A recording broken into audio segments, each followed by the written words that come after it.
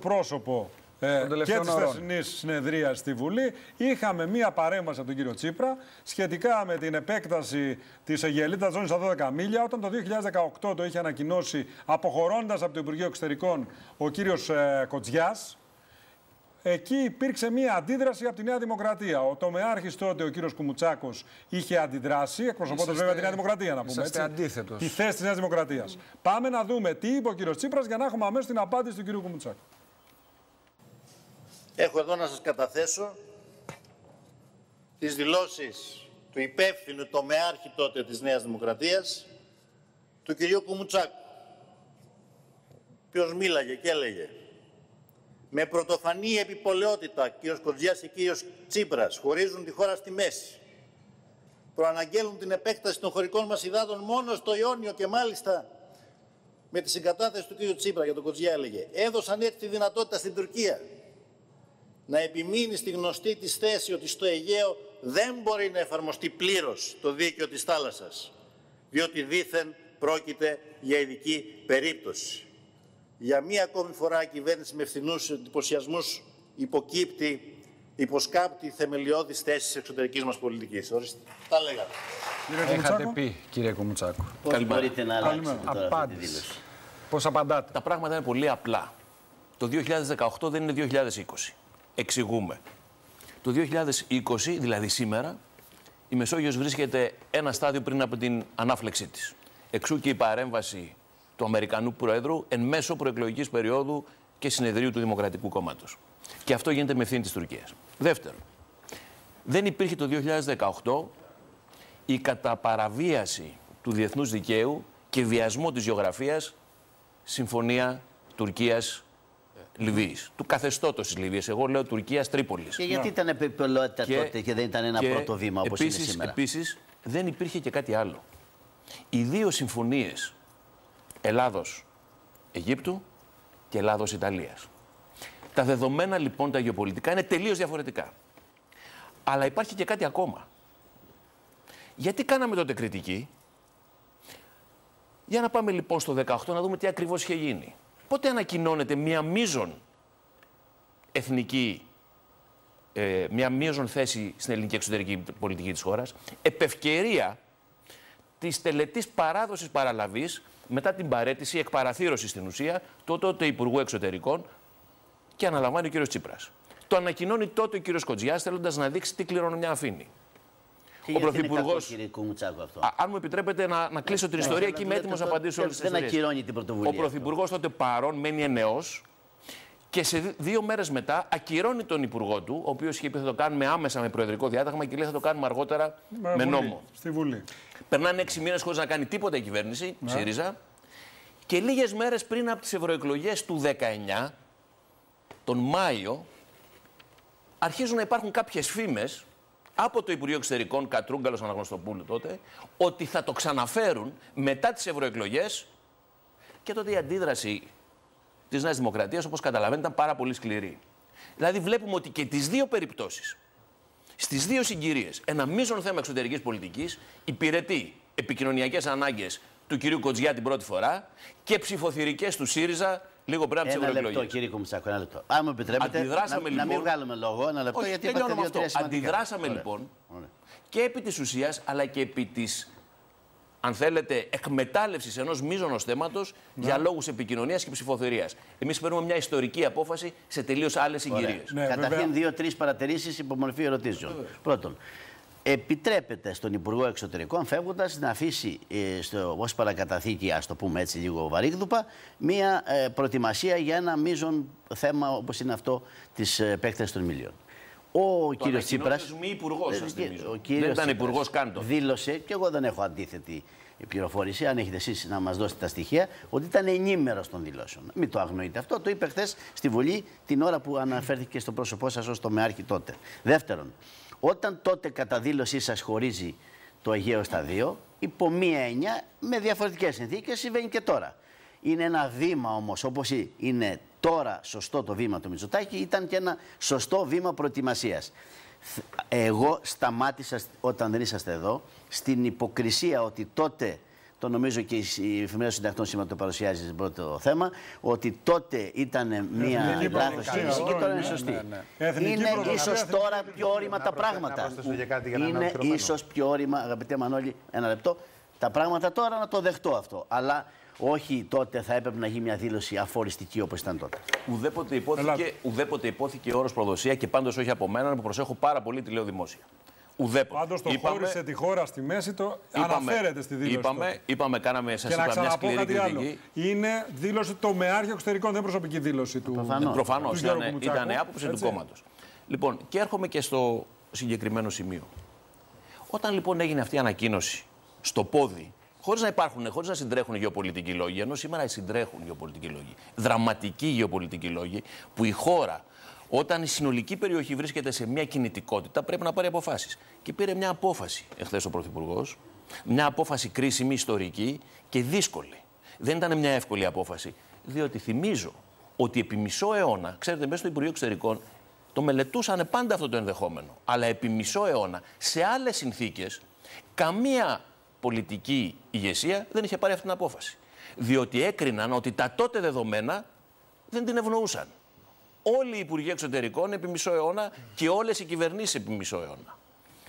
Όμως σήμερα, σήμερα, σήμερα λοιπόν οι συνθήκες είναι τόσο διαφορετικές που επιβάλλουν μια τέτοια κίνηση. Και άλλωστε, και θα κλείσω με αυτό, ο Πρωθυπουργός έσπευσε αμέσως να δημοσιοποιήσει και να δηλώσει που δεσμεύει την κυβέρνηση, δεσμεύει τη χώρα, ότι αυτό είναι ένα δικαίωμα το οποίο επιφυλάσσεται να ασκήσει και σε άλλες θαλάσσιες περιοχές. Και ακολουθεί ο κύριος Δένδιας, ο οποίος τι λέει, ήδη μελετάμε την επέκταση νοτίω της Κρήτης. Στο Αιγαίο θα το κάνουμε. Στο Αιγαίο θα γίνει, κύριε Κομτσάκο. Αυτό θα εξαρτηθεί από τις εξελίξεις. Είπε κάτι ο Πρωθυπουργός πάντως Είπε ο Πρωθυπουργός ότι όπου είναι η απόσταση στα μικρότερη από τα 24 μίλια, θα πάμε με τη λογική της μέσης γραμμής. Αλλά εδώ το ζήτημα για το θέμα το οποίο έχει προκύψει νομίζω είναι το εξής. Είναι άλλο πράγμα ε, να γίνεται κριτική στο ΣΥΡΙΖΑ για το γεγονός ότι ζητούσε τότε να ασκήσει μονομερός, όπως βεβαίως προβλέπεται, κυριαρχικό δικαίωμα και μετά να πάει στο διεθνές δικαίωμα της συμφωνίας με την αποκλειστική οικονομική ζώνη, δηλαδή να βάλει στην πραγματικότητα το κάρο πριν το άλογο, γιατί αυτή είναι η κριτική η οποία θα μπορούσε να του ασκηθεί. Και άλλο πράγμα όμως να, να του ασκείται κριτική ότι έγινε για επικοινωνιακούς λόγους. Εγώ ξέρετε με τον κύριο Κοζιά, ιδιαίτερα στο Σκοπιανό, είχαμε σκοτωθεί. Ναι. Αλλά ε, το Δεκέμβρη του 2017, σε μια συνέντευξη στην ΕΡΤ, μετά από μια ερώτηση που του είχαμε υποβάλει μαζί με συναδέλφους, για πρώτη φορά είπε ότι προετοιμάζει την επέκταση στο Ιούνιο και στην Κρήτη στα 12 μίλια. Και την ημέρα που, Άρα που έφευγε. Ήταν, εννοείται την ημέρα, ναι, την, την, ημέρα την, ημέρα, την ημέρα που έφευγε. Την ημέρα που έφευγε, στην πραγματικότητα είπε ότι ήταν έτοιμα τα προεδρικά διατάγματα. Η κριτική επίσης που μπορεί να κάνει κανείς τον κύριο Τσίπρα είναι ότι ανέτρεψε αυτή την πολιτική. Και είπε θα το πάω στη Βουλή. Και είπε στις ελληνικές κοινοβουλευτικές καλένδες με νόμο. Γιατί στην πραγματικότητα δεν, δεν λέω ότι δεν ήθελε, αλλά εκείνη τη στιγμή δεν ήθελε να ανοίξει το στο Ερντογάν. Ανακοινώθηκε κάτι ναι. ως φούσκα και δεν έγινε τίποτα επί έξι μήνες δεν έγινε τίποτα. Ανακοινώθηκαν προεδρικά διατάγματα, πέσαμε σε νόμο και μετά από έξι μήνες μόνο φημολογία και διαρροές από το Υπουργείο Εξωτερικών έλεγαν ότι μετά τις εκλογές, ουσιαστικά λέγοντας στον κόσμο ψηφίστε μας γιατί μετά θα επεκτείνουμε σε 12 ναυτικά μίλια, δηλαδή υπηρετούσαν ψηφοθυρικές και μόνο σκοπιμότητες. Αυτή η πολιτική. Εμέσω ε, θες ο κύριος Τσίπρας σας άσκησε κριτική και για άλλο θέμα. Ε, εννοώ την αναφορά του στο δόγμα κινησίας Μολυβιάτη. Ήσασταν εκπρόσωπος τύπου στο Υπουργείο Εξωτερικών. Εγώ ήμουν εκπρόσωπος τύπου όλη την περίοδο Α, και με το. Κινησία Μολυβιάτη. Βεβαίως. Ναι, ναι, θα απαντήσω. Σε παίρνει μπάλα και εσάς. Αυτά, αυτά, είναι, αυτά είναι τα πολύ εύκολα γιατί στερούνται Το πνεύμα Μολυβιάτη δεν αφορά τα δύο χρόνια που ήταν υπουργός προφανώς. Αφορά μια νοοτροπία ενδεχομένως που ε, σηματοδοτείται στο όνομα του πρώην Υπουργού. Ναι, που πάει πιο πίσω. Έτσι, δεν αφορά στη διετία. Να απαντήσω λοιπόν. Πρώτα απ' όλα, οι άνθρωποι που το λένε αυτό, για σκοπιμότητες εμφανίζονται να έχουν άγνοια της ιστορίας εξωτερικής πολιτικής της χώρας. Μιλάνε για δόγμα Μολυβιάτη. Ποιος είναι ο Πέτρος Μολυβιάτης, Είναι ο εμπνευστής μαζί με τον Κωνσταντίνο Καραμαλή της ένταξης τη Ελλάδας στην Ευρωπαϊκή Ένωση. Αυτό δεν είναι ακινησία. Είναι μια μείζον στρατηγική κίνηση της χώρας από την οποία μέχρι σήμερα μπορούμε να αισθανόμαστε ασφαλείς. Δεύτερον, ποιος είναι ο άνθρωπος αυτός; Ο άνθρωπος που μαζί με τον Κωνσταντίνο Καραμαλή έκανε το άνοιγμα με μια ταυτόχρονη δήλωση ανήκουμε στη Δύση την ίδια ώρα που επισκεπτόταν ο Κωνσταντίνος Καραμαλής τη Μόσχα και το Πεκίνο. Βλέπετε ακινησία; Και πάμε και λίγο στα πιο σύγχρονα, στα δύο αυτά χρόνια. Πότε ξεκίνησαν οι διαπραγματεύσεις με την Αίγυπτο για ΑΟΣ και οι πρώτες συζητήσεις με τη Λιβύη που ανέτρεχαν θα, θα είχαμε οριοθέτηση των θαλασσίων ζωνών όπως θα θέλαμε. Το 2005 επί Υπουργείας Πέτρου Μολυβιάτη ξεκίνησαν οι διαπραγματεύσεις με την Αίγυπτο και με τη Λιβύη. Αυτές που τότε ξεκίνησαν για να καταλήξουν 15 χρόνια μετά γιατί ήταν πολύ δύσκολες. Και κάτι ακόμα. Πού είναι η ακινησία όταν για πρώτη φορά Έλληνας Πρωθυπουργός τότε ο, Κωνσταντίνο, ο Κώστας Καραμαλής επισκέπτεται την Άγκυρα με επίσημη επίσκεψη. Αυτά συνιστούν ακινησία. Και πώς μια υπουργεία που κράτησε δύο χρόνια χαρακτηρίζει την εξωτερική πολιτική της χώρας επί μισό αιώνα. Ε, Πάμε λίγο λοιπόν, και στα σύγχρονα. Όλα αυτά λοιπόν. Αν μου επιτρέπεις, τα ακούσαμε τον κύριο Μιλιάτη, ορισμένα εγώ συμφωνώ κιόλας. Όλα, ε, όλα αυτά είναι λοιπόν φλιναφήματα. Ο πρώην Πρωθυπουργός χθες έκανε μια αναφορά σε εσάς ως τομεάρχη με πολύ προσοχή και έτσι η, θεωρώ ότι η δική σας τοποθέτηση περί ε, επικοινωνικές φούσκες κλπ. δεν ταιριάζουν και στο προφίλ σας. Και τι εννοώ. Μπορώ και αγαπητό Μανώλη να πω ότι ο Γκοτζιάς τότε είπε ότι έχω έτοιμο το θέμα. Δεν είπε ότι τώρα θα γίνει το θέμα.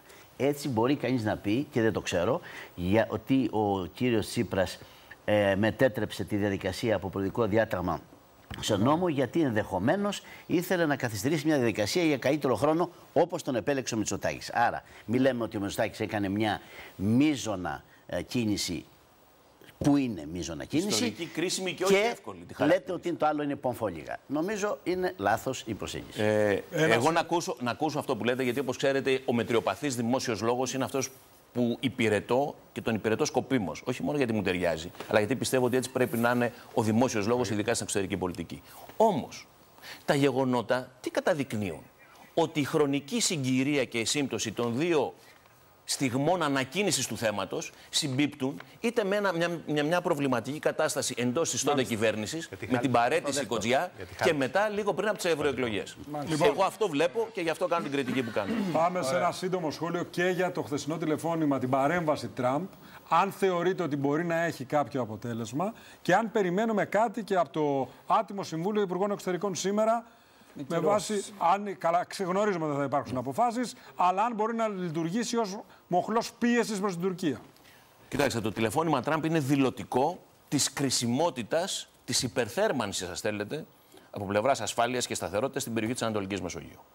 Εν μέσω δημοκρατικού ε, ρεπουμπλικανικού συνεδρίου, εμφανίζεται ο Τραμπ και παίρνει τηλέφωνο μέσα σε προεκλογική περίοδο, γιατί βλέπει την επικινδυνότητα της κατάστασης. Και τους ψήφους. Και δεν είναι μόνο αυτός. Και, και, δεν είναι μόνο αυτός. Έχουμε παρουσία της Ρωσίας, έχουμε δραστηριοποίηση της Γερμανίας, της Ευρωπαϊκής Ένωσης, των Ηνωμένων Αραβικών Εμμυράτων. Η κατάσταση αυτή τη στιγμή στην Ανατολική Μεσόγειο είναι κρίσιμη. Η παρέμβαση Τραμπ μπορεί να φέρει αποτέλεσμα. Δεν μπορώ να το ξέρω, διότι ξέρετε, δεν μπορούμε να αναλύσουμε πλέον όχι τα συμφέροντα της Τουρκίας που είναι λίγο πολύ γνωστά και είναι, αν θέλετε, με έναν ορθολογισμό λες, κινούνται βάσει των συμφερόντων τους, τα οποία εμείς απορρίπτουμε. Αλλά υπάρχει ένα στοιχείο ανορθολογισμού που είναι πώς σκέφτεται ο ίδιος ο Ερντογκάν. Τι επιθυμεί. Ο Ερντογκάν αυτή τη στιγμή μετριέται με την ιστορία. Δεν ακούει κανέναν από εμάς.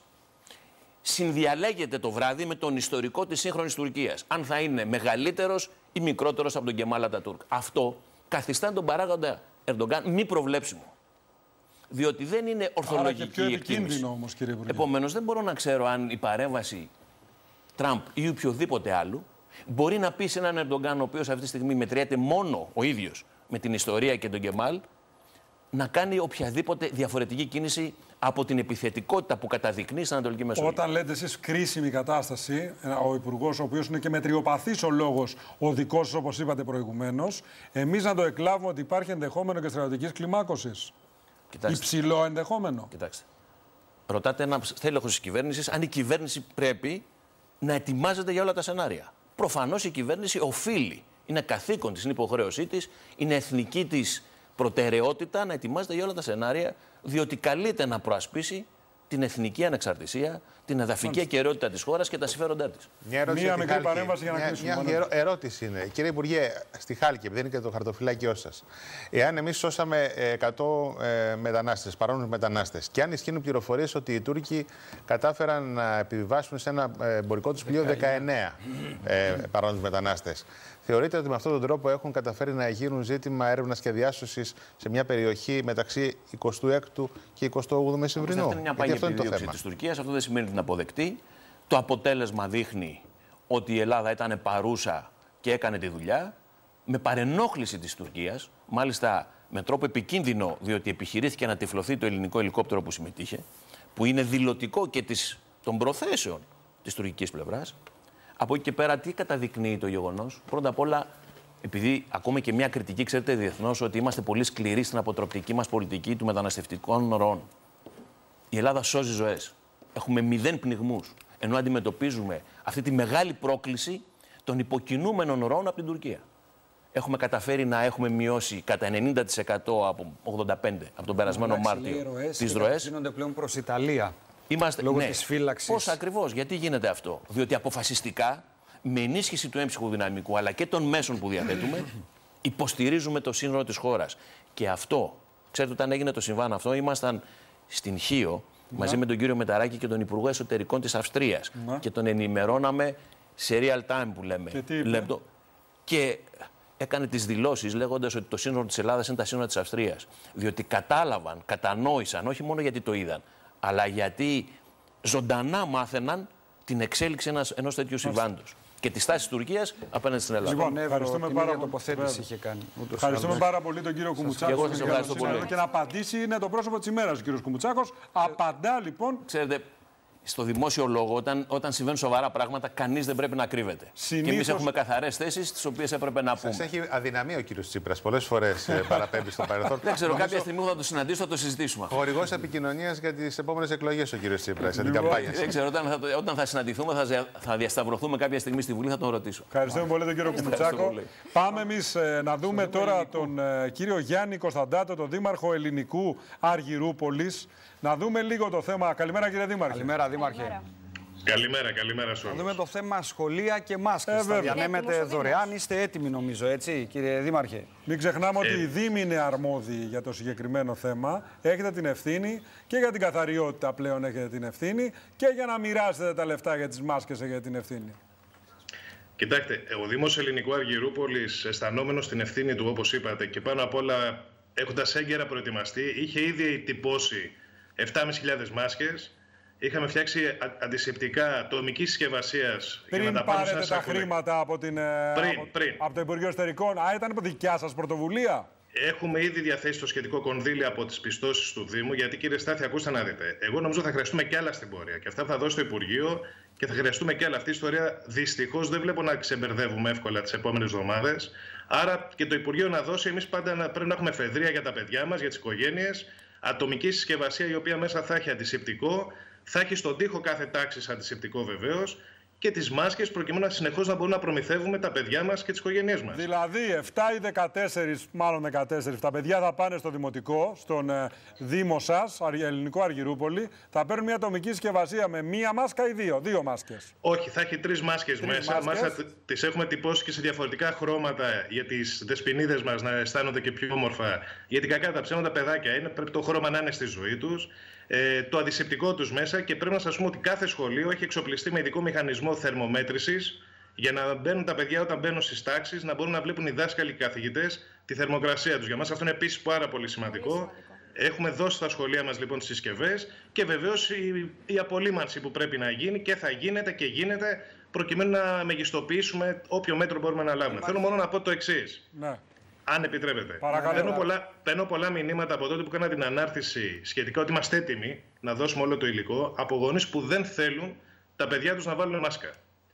Γονείς που έχουν ενστάσεις, που έχουν αντιδράσεις. Προσέξτε, δεν είναι λίγοι. Και είναι μια μερίδα. Αυτούς, Δήμαρχε; Θα σας πω λοιπόν. Πρώτα απ' όλα είμαι γονιός και εγώ ίδιος. Πέρα από δήμαρχος, το πιο σημαντικό την ιδιότητα που έχω και εγώ και εσείς βεβαίως όλοι είναι του ναι. γονέα.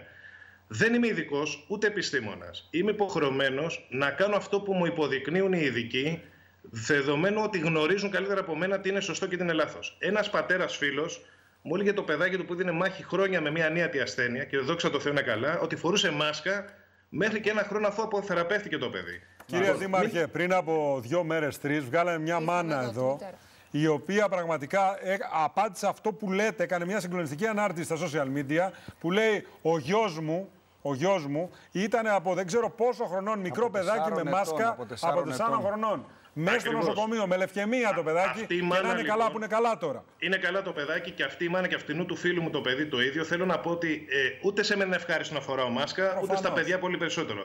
Μια άλλη μητέρα μου έκανε πλάκα, μου λέει θα φεύγει ο μικρός με Batman μάσκα το πρωί και θα γυρνάει με Spider-Man.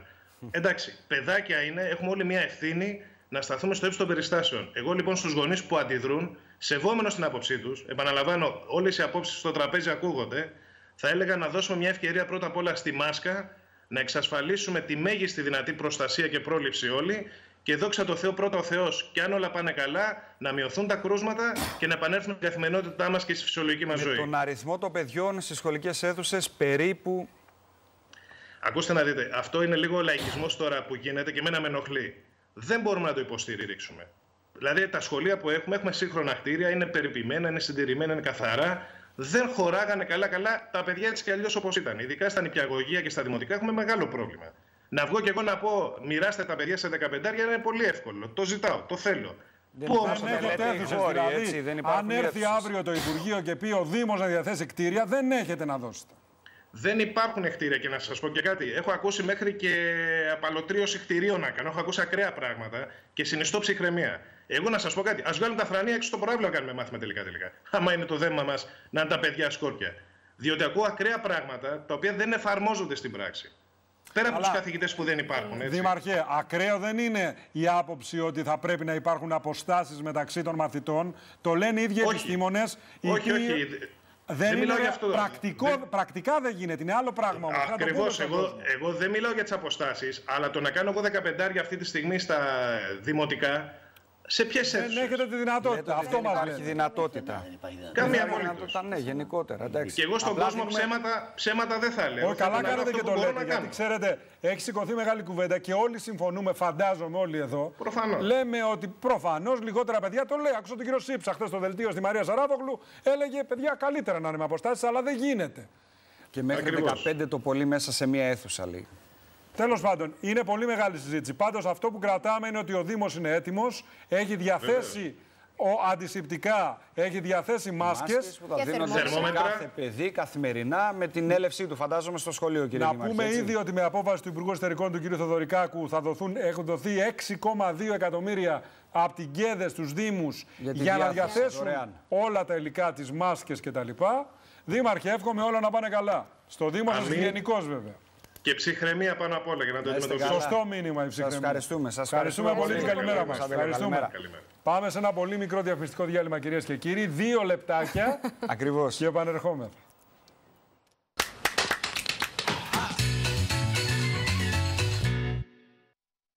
Πόσο ξεκούραστοι θα νιώσουμε αύριο εξαρτάται από το πώς θα κοιμηθούμε σήμερα. Με εκτόσεις έως 50% και πραγματικά άτοκες δόσεις, κάνε ένα δώρο ζωής στον εαυτό σου. Mediastrom. Κοιμάσαι καλά. Ζεις καλύτερα.